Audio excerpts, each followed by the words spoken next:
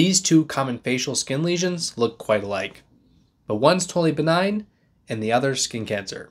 Can you tell the difference? Hi, I'm Dr. Walter. I'm a board certified dermatologist, and today we're comparing two common lookalikes basal cell carcinoma and angiofibromas, also known as fibrous papules. They both show up as small, skin colored, or slightly pink bumps on the nose or central face. But let's break down the differences. Angiofibromas or fibrous papules are completely benign and harmless. They usually appear in young adulthood, and once they're there, they don't really change much. They just appear, and then they're hanging out there for the rest of your life. They're dome shaped and typically skin colored or pink, and they don't bleed or ulcerate unless you pick at them.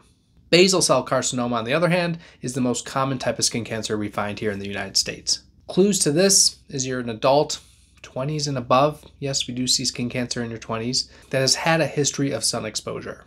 These are often a little more pearly looking and translucent, especially if you shine a light on them. They're a little shiny. And these ones will continue to grow, but very slowly. They're locally destructive, and they can ulcerate and bleed on their own. So it can be really hard to tell the difference, especially with just using your eyes. That's where a dermatoscope comes in super handy, and what I use to really help tell the difference in a skin exam.